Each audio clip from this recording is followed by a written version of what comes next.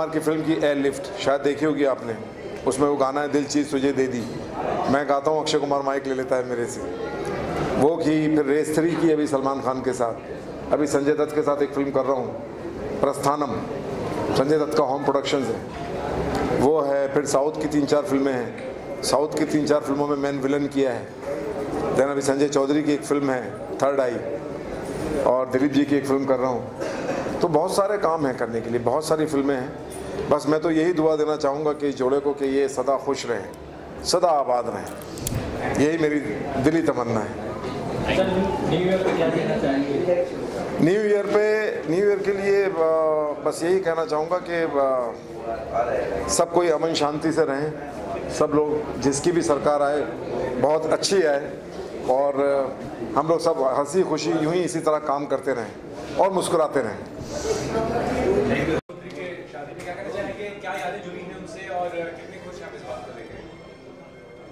देखिए मेरी बात नहीं है, कोई भी फादर जो है, पिता है, उसको अपनी बेटी की शादी में बहुत खुशी होती है। तो उसी तरह मुझे भी खुशी हो रही है। और जहाँ तक आपने यादों की बात की तो ये जब पैदा हुई थी, और मैंने उसी वक्त एक फ़िल्म शुरू की थी जंगल ब्यूटी और वो पिक्चर इतनी बड़ी हिट हुई थी अपने ज़माने में, और मैंने इसका पेट नेम रखा था ब्यूटी और आज तक उसे ब्यूटी बुलाते हैं ये मेरी सबसे बड़ी याद है उसके लिए। और पूरी ज़िंदगी ब्यूटी रही है वो। चेहरे की बात तो अपनी जगह है दिल से भी ब्यूटी है। वो बात मुझे उसकी बहुत अच्छी लगती है।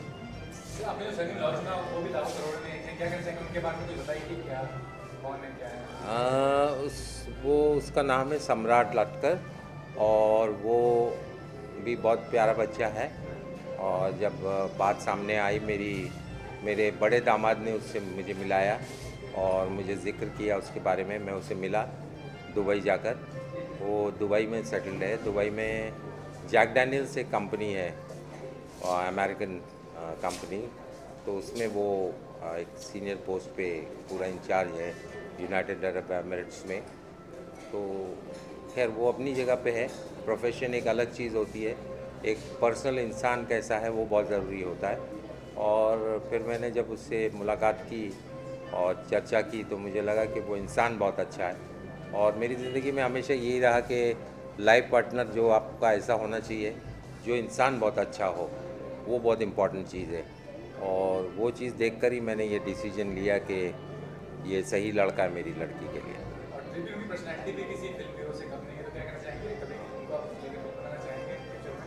देखिए वो उसे आ, इंडस्ट्री से बचपन से काफ़ी वो दुबई में पैदा हुआ वहीं बड़ा हुआ और काफ़ी डिग्नेटरी सेलिब्रिटीज़ दुबई जाते रहते थे और उसके फादर भी वहीं थे।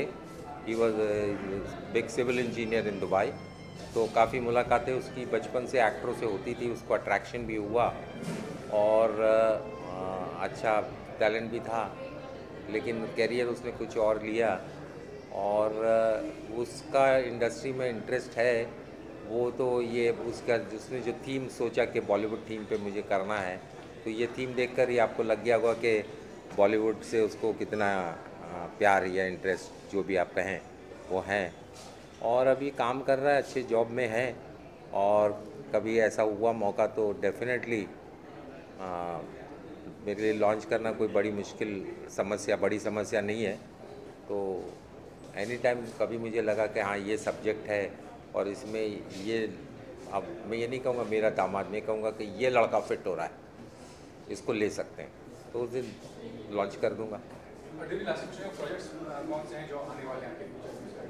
देखिए अभी मैंने एक हिंदी फ़िल्म की थी with the new starcast mafia Bigg Boss और वो सिनेमा हॉल में अच्छी गई। और स्टार कास्ट न्यू कमर्स थे, लेकिन इसके बावजूद कलेक्शन वर गुड और अभी एक जो नया ट्रेंड शुरू हुआ है कि आप एक हंड्रेड करोड़ मार्क को क्रॉस कर रही हैं वो फ़िल्में भी, जिनमें सुपरस्टार्स नहीं हैं। तो उसी वो मेरी ओरिजिनल कॉन्सेप्ट भी ऐसी रही है हमेशा कि अच्छी कॉन्सेप्ट पे फ़िल्म बनाओ। तो ये मैं तो हमेशा सोचता रहा था, आज बॉलीवुड वाले बोल रहे हैं कि अच्छी कॉन्सेप्ट होनी चाहिए। मैं जब पहली बार आया था इंडस्ट्री में, तब से मैं सोचता था कि कॉन्सेप्ट अच्छी होनी चाहिए। तो अभी मेरे तीन प्रोजेक्ट्स हैं पाइपलाइन में। एक हम लोग कर रहे हैं न्याय the judgment it's based on तीन तलाक। तो वो जनवरी पंद्रह के बाद फ्लोर पे चली जाएगी। और स्टारकास्ट का भी असेंबलिंग चल रहा है, विद्या बालन जी से बात हुई है हेमा मालिनी जी से जैकी श्रॉफ वगैरह। और इसके अलावा एक हम आ, कर रहे हैं इंडियन वेडिंग ये सब्जेक्ट भी बहुत अरसे से मेरे दिमाग में था तो इंडियन वेडिंग को भी हम कर रहे हैं। It's based on destination wedding तो हम इसे लखनऊ और आबू धाबी में शूट करेंगे। Destination wedding will be in Abu Dhabi वो कर रहे हैं और एक फ़िल्म हम प्लान कर रहे हैं यूथ के ऊपर जैसे स्टूडेंट ऑफ़ द ईयर आई थी फ़िल्म करण जौहर की। हम लोग प्लान कर रहे हैं बंकिंग स्टूडेंट्स कि एक तबका ऐसा भी है जो हमेशा रहा है और रहेगा, जो कॉलेजों से बंक करते हैं, उस पर बेस करके इस तरह से तीन प्रोजेक्ट हैं 2019 में।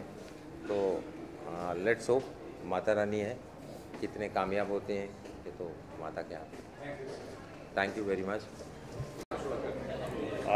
sir सबसे पहले मैं बता दूँ कि मैं आपका दोस्त सागर सलमान पांडे और ये मेरे दोस्त हैं कमाल जी, कमाल मलिक जी। ये मेरी हीरोइन है। अपना इंट्रोडक्शन दो यार। नेहा बंसल ऐश्वर्या राय जी लग रही हो? हुँ? और ये मेरे दोस्त हैं, आरिफ, अनिल कपूर। झकास सर बोलो सब कुछ। दोस्तों सबसे पहले तो हमारे गुलाटी सर को मैं मुबारकबाद देना चाहता हूँ, उनके पूरे परिवार को मुबारकबाद देना चाहता हूँ, क्योंकि ये जिस बच्ची की शादी है ये बच्ची हमारे सामने इतनी सी हुआ करती थी, जब हमको पहला ब्रेक फ़िल्म गंगापुर की गीता में दिया गया, और वो पहला ब्रेक दिया हमारे सर में, दिलीप गुलाटी साहब ने।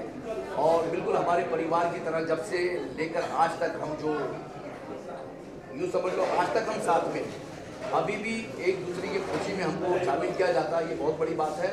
लोग आते हैं स्टार बनने के बाद में लोग अच्छे अच्छों को भूल जाते हैं, लेकिन सर हमको कभी नहीं भूले, ना हमने कभी सर को भूला है। ये सबसे बड़ी बात है। सबसे ये सबसे बड़ी बात है। और मैं इतना ही कहूँगा हमारे दिलीप गुलाटी साहब के लिए उनके पूरे परिवार के लिए इतना प्यारा परिवार है। सलमान सागर से लेकर मुझसे लेकर ऐसे कई लुक लाइक भाई हैं जो जूनियर फ़िल्म स्टार हैं। उन सबको चांस देने वाले हमारे सर हैं नहीं तो हम ये चांस नहीं मिलता हमको। आई थिंक 91 92 में जो चांस मिला हमको। एज ए हीरो फ़िल्म का नाम था गंगापुर की था उसमें उसके बाद से हमको मुड़कर देखने की ज़रूरत नहीं पड़ी। तो जैसा इंडस्ट्री में कहा जाता गॉड फादर क्या? मैं इतना ही कहूँगा कि हमारे दिलीप साहब का आशीर्वाद हम सब कलाकारों के साथ जिन जिन लोगों को उन्होंने साथ दिया है। और मैं उनके लिए दिल की गहराई से एक ही बात कहूँगा। ये मेरे ही नहीं, बल्कि हम सभी कलाकारों के दिल से निकली हुई बात है। वो बात ये है कि गली गली में ये चर्चा हो आपका। ये दुआ है हमारे दिल से निकली।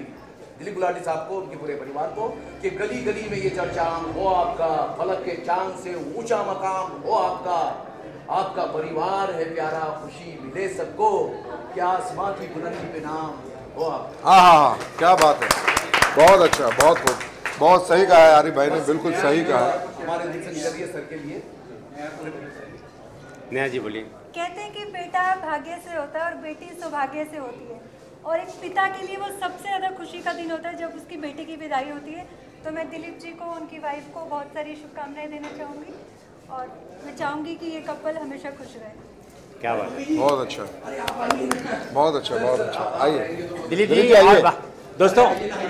मैं। यहाँ था अरे आप लोग भी तो तो दोस्तों ये सिलसिला चल रहा है। मैं जैसे बताया कि आज हम सबको काफ़ी लुक लाइक को बनाने का जो श्रेय जाता है मैं चाहता हूँ कैमरा हमारे बॉस मिस्टर दिलीप गुलाटी की तरफ़ हो। और वो एक ऐसे शख्स हैं जिन्होंने इंडस्ट्री में काफ़ी लोगों को मौका दिया। बहुत लोगों को और, मौका दिया। और उनमें से एक मैं खुद भी हूँ जो कि बहुत लंबी स्टोरी है। इनके दरवाजे पर आया और धक्के मार के भगा दिया। बोले यार क्या कहाँ तुम्हारी शक्ल है? और वापस से लौट के आया। वापस से लौट के आया तो बोला जा एक्टर बन जा एक्टिंग सीख के आ जा तेरे को सलमान खान का डुप्लीकेट ले रहा हूँ लुक लाइक और आ, वो सिलसिला जो शुरू हुआ आज तक हमारे इनके रिश्ते just like my godfather just like my father हम लोग बहुत क्लोज दोस्त भी हैं और एक भाई भाई जैसे हैं लेकिन आज इनकी एनर्जी ना मुझसे भी ज़्यादा है। हम लोग साथ में शूटिंग करते हैं ना तो वो भाई साहब सात बजे उठ जाते हैं और मैं नौ बजे उठता हूँ और ये धक्के मार उठाते हैं, उठ जा बेटा। तो ये वो मिस्टर दिलीप गुलाटी हैं, इससे ज़्यादा मैं कुछ नहीं कहूँगा। और मैं ये कहूँगा मेरी पब्लिक के लिए, इश्क इबादत, इश्क ही पूजा, इश्क ही प्यार का नाम है है मेरे चाहने वाले, तुम पर दिलो जान कुर्बान है?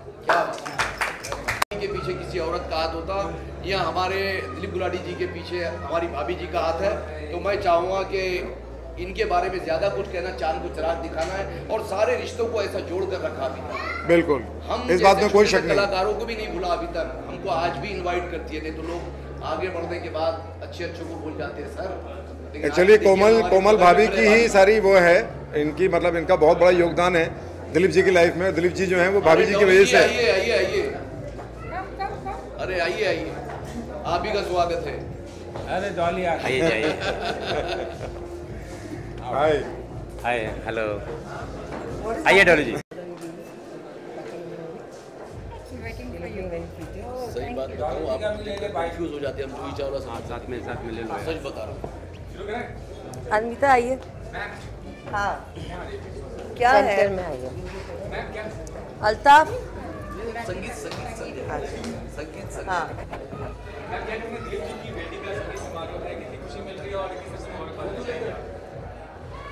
देखिए, शादी का त्यौहार दिसंबर ठंड में मज़ा ही अलग होता है। और ये माहौल और एक कह रहे हैं ना, पूरा हिंदुस्तान में शादियाँ हो रही है। और दिलीप जी, हमारे परिवार मैं इनको, मैं तब, जब से छोटी थी, मैं तब से पुष्पा और दिलीप को, दिलीप जी को जानती हूँ। और आइए। बड़ी हुई हूँ मैं इनके सामने हम लोग इधर आइए दिलीप जी आइए बीच में आ गए। बीच में आ गए। बहुत अच्छा लग रहा है वेरी नाइस इसलिए हम यहाँ आए हैं। संगीत का एक फ़ंक्शन है। और धूमधाम से संगीत मनाएँगे इंजॉय करेंगे। मैंने ऑलरेडी शुरुआत गाड़ी में कर ली थी रेडियो में गाना लगाया था उसमें आ रहा था वो पिक्चर का गाना। मैंने कहा लोग माहौल बन गया मूड बन गया पूरा। संगीत का जोन तैयार हो गया पूरा। और ये मौका ही हमेशा खुशियों का होता है। बेटियाँ बेटी कहते पिता की लाडो। बेटियाँ बहुत इसमें एक अंदर ही अंदर एक दुख की बात तो होती है जब बेटी ससुराल जाती है। पर आज के कलयुग में ऐसा है कि बेटियाँ कहीं नहीं जाती है माँ पिता की हमेशा लाडली रहती है। माहौल चेंज हो गया। और अच्छे घर मिलना और अपनी किस्मत तो फिर बच्चियाँ अपनी लाती हैं, लाडो, बाप की जो, पिता की जो लाडली होती है। तो हमारी विशेज़ है, हमें लड़का बहुत अच्छा मिला है, अच्छे परिवार वाला है और हमारी लड़की भी कुछ कम नहीं है, सारे लड्डू पकौड़े बनाना जानती है। थैंक यू हमेशा एक्चुअली दिलीप जी की जितनी भी बेटियाँ, दोनों बेटियों की शादियाँ हुई हैं बिग बिग फैट मैरिजेज हैं। और इसके पहले जो और वो बच्चे हमारे हाथों में खेले हैं मालूम? इतने छोटे छोटे थे अब बड़े हो गए उनकी शादियाँ हो रही हैं। And by the grace of God I am very very happy मैं चाहता हूँ कि ऐसे ही वो भी तरक्की करें खुशहाल ज़िंदगी जिए। और दिलीप जी के आशीर्वाद से आज हम लोग काम भी कर रहे हैं। बिल्कुल क्योंकि मेरा जो पहला ब्रेक था वो इन्होंने ही मुझे दिया था। तो शुक्रगुजार हूँ इनका और हमेशा रहूँगा तहे दिल से। बाकी कमाल भाई कुछ बोलेंगे। कमाल के आदमी है ये। हाँ हाँ। न्यू ईयर के लिए मैं सबको शुभकामनाएँ देना देना चाहूँगा। आपके लिए 2019 बहुत शुभ हो। खूब तरक्की करिए, खूब खुश रहिए और सबसे बड़ी बात, स्वस्थ रहिए।